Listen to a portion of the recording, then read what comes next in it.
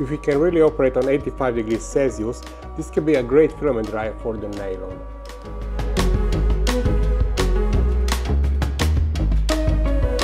Welcome to my Tech Fun another filament dryer testing video. This is PrintDry Pro 3 and this box is sent to me by the company in exchange for the review. And I didn't even know about this unit until I didn't create that uh, video about drying the nylon. It was a scientific research on our department and the conclusion there was that on 70 degrees Celsius if the nylon is full of moisture then we need at least 7 days, uh, 10 days to dry it completely. So that's why it is important to keep it dry as much as possible. And in that case, maybe in 24 hours, it can be closer to the dry state, so it, it will be usable. And there I mentioned that it would be so good to have the filament dryers which can heat up the air up to 90 degrees Celsius. And there I got these comments that I should test this one too, because uh, according to specifications, it can heat up the air up to 85 degrees Celsius and this will significantly reduce the drying time. You can watch that video, we have very interesting results there. Some specifications from the website. It has built-in timer. It can accept two regular size spools up to 200 millimeter diameters, but I'm not sure how wide are those filaments. I will check it later here because that information I couldn't find on the website. It has closed loop design. This means that it can adjust the heating according to the temperature. And it measures the temperature on four locations. So very interesting unit and it looks like uh, good quality, but we will see soon.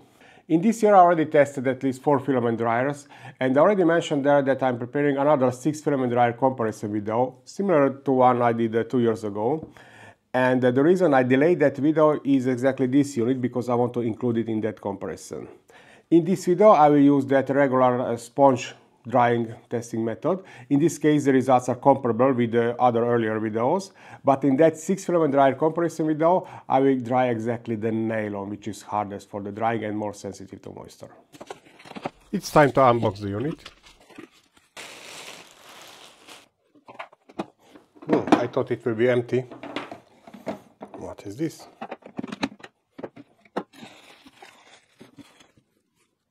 This was content of the package. This is the main unit and I can see that it works similar to the food dehydratators.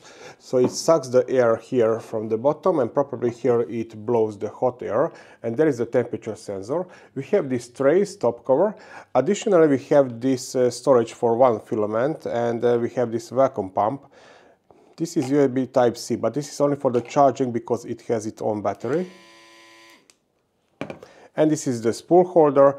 And we have these adapters for different size of the spool. The smaller is for the 48 to 54 millimeters and the bigger one is from 54 to 58 millimeters. On this tray we have the recommended drying temperatures and times. And for the nylon 85 degrees celsius 12 hours. This spool holder is quite unique but not universal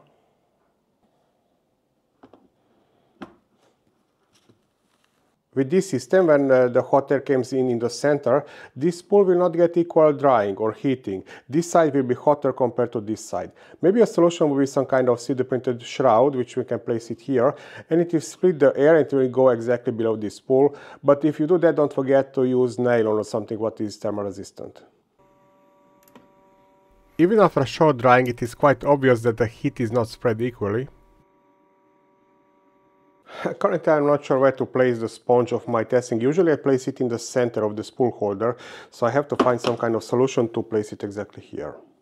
I'm not sure where the hot air or the moisture go out because here we don't have holes on the top and maybe through these holes uh, if we don't place this locking mechanism.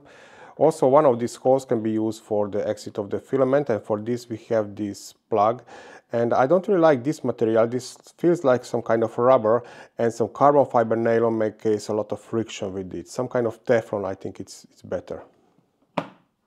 Well, actually, probably the correct method would be using it together with this Teflon tube, which is provided in the package. Like this. The operation should be very simple because we have the power button and plus minus properly setting the temperature and the time. Let's give it a power.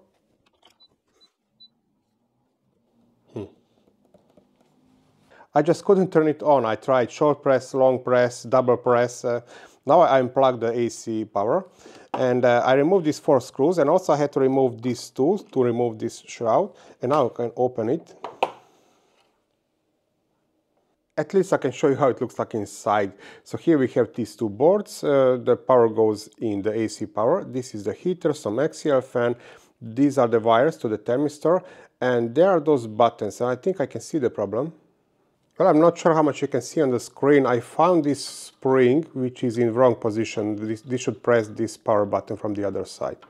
Let's try to fix this, but probably off camera it's not so comfortable to record. Oh, this will not stay easily in this position. I have to be very careful because it is open. I will just give it the power to test it. Uh-huh, and it works now, okay.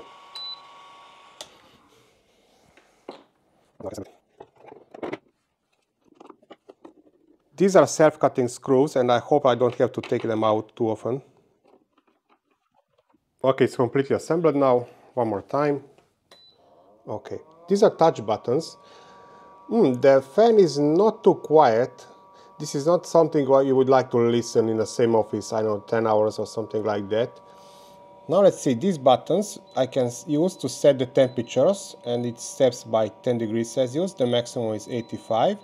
And if I want to change the time, I have to press them at once. Now it blinks, these are properly hours. 5, 6, so after this it will turn off when this time expires. And I have to wait a few seconds and it will switch to the temperature again. And when I turn it off, it requires some time because it wants to cool down inside before it completely turns off the fan.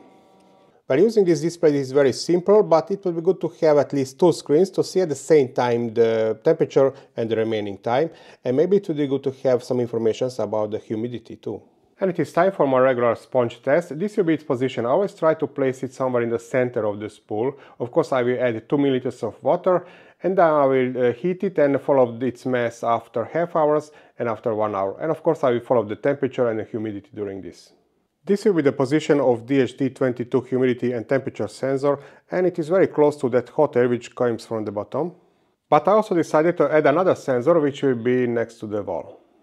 The information from the sensors I can see on this screen, but with this Arduino Uno I'm collecting the data every 10 seconds and I can see it on the screen, but later I will analyze them in the Excel table. Current temperature in this room is approximately 24 degrees Celsius and 50% is the relative humidity. Weight of the dry sponge. Approximately 2 milliliter water added, 2.702. And now I can start the drying. On maximal temperature I can start collecting the data. And I will measure it after half hours and after one hour. After approximately 5 minutes I can see the temperature on the main sensor is 63 degrees Celsius, next to the wall is uh, 51 approximately, but we will analyze the temperatures later when it is finished. The noise from half meter distance is approximately 46 decibels, which is not too quiet for the filament dryer. It's time for half hour measuring. 0.925. And it looks like the temperature will be stabilized around 70 degrees Celsius, at least on this position. Later I will try to measure directly the hot air. It's time for the one hour measuring. Looks completely dry. 0.637 exactly. This means it's even drier than the beginning because it has some moisture inside.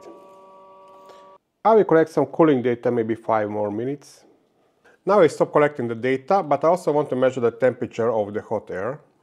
And now I move the sensor, it will be exactly above this hot air, so it should measure even higher temperatures compared to their sensor. Of course I don't know what does it measuring, but properly if it is set to 85 degrees Celsius, I should see here higher temperatures.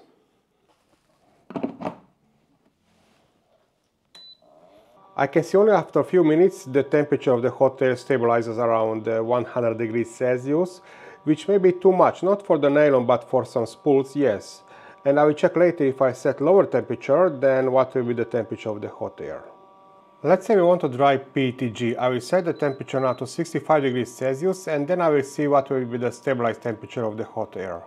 I can see the temperature stabilizes around 70-72 degrees Celsius and this may be even too much for the PETG if it gets this hot air.